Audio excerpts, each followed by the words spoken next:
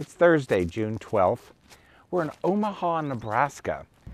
We're in some sort of big industrial park, just taking it easy while our van is getting fixed.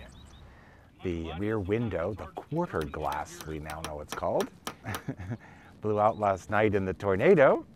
And it took us a long time to find this big industrial park.